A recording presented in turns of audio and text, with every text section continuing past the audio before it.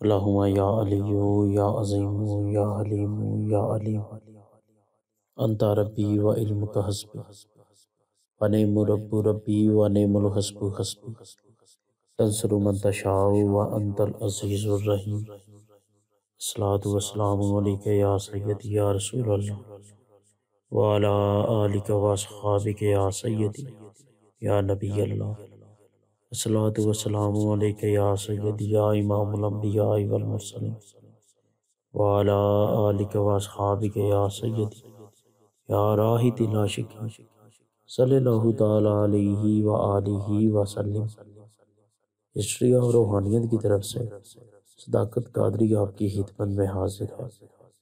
उम्मीद करता हूँ नाजरीन, आप तमामी अहबाब हैरियत से हों।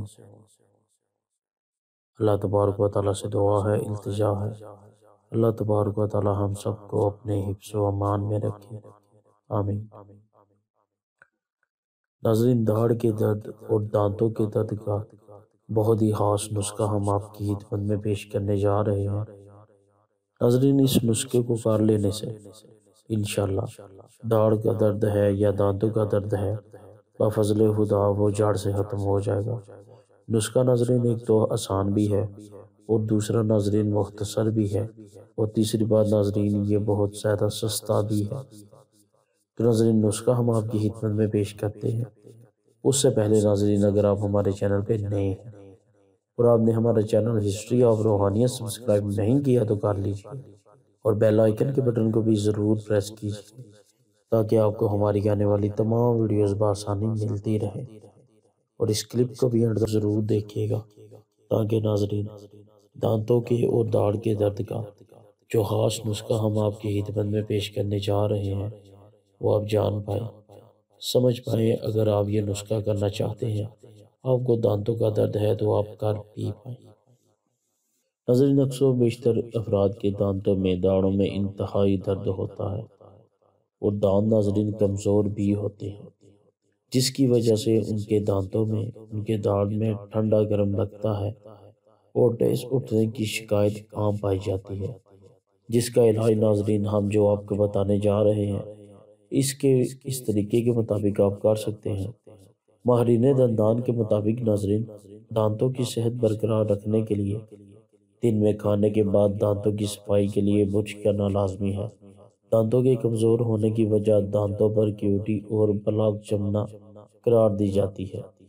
मीठी या नमकीन गज़ा के इस्तेमाल के बाद दांतों के दरमियान कुछ ज़रात रह जाते हैं, जो नाजरीन इन्फेक्शन का सबब बनकर दांत कमज़ोर करते हैं और कीड़ा लगने के हादसा में भी इजाफा होता है। तो इसलिए नाजरीन माहिरान दंदान के मुताबिक दांतों को इन्फेक्शन और कीड़ी से बचाने के लिए लाजमी है।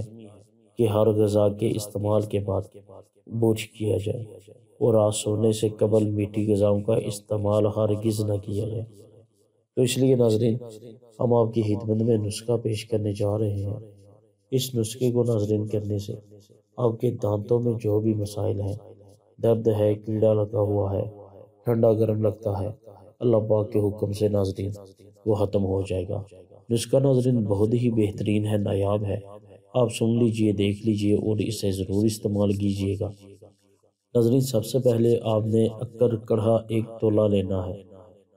फिल्फे स्याह भी एक तोला और नाजरीन नो शादर एक तोला ले लेना है।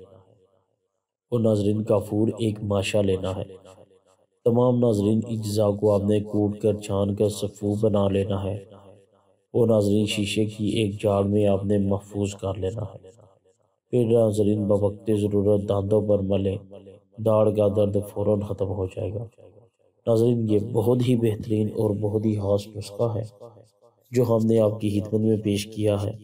आप इसे ज़रूर शेयर करें, दोस्त अहबाब को भी बताएँ, जिन जिन को दांतों का मसला रहता है ज़रूर बताएँ। सदक़ जारिया समझिए नाजरीन, ये काम कर लिया करें, शेयर कर दिया करें, दूसरों को बता दिया करें, ताकि नाजरीन इसका स्वाब भी पहुँच सके आपको भी। और हिदमत हल्क भी हो सके। तो नाजरीन, ये नुस्खा बहुत ही खास है, बहुत ही बेहतरीन है। जिस चीज़ को भी ज़रूरत है, वो हमारे बताए गए तरीके के मुताबिक करके नाजरीन इस नुस्खे को इस्तेमाल कर सकता है। इसके अलावा नाजरीन, अपने जिसमानी और रूहानी मसाइल के हल के लिए आप हमसे रबता भी फरमा सकते हैं। किसी भी वक्त रबता फरमा सकते हैं। हमारी कोशिश होगी नाजरीन की आपके मसले को देखते हुए आपके मसले के मुताबिक इसका हल निकाल कर आपकी हिदमत में पेश कर सकें। नाजरीन आप इजाज़त चाहता हूँ। दुआ में ज़रूर याद रखिएगा सदाकत को सदाकत कादरी की टीम को। असलकम वरहमल वबरकातुहू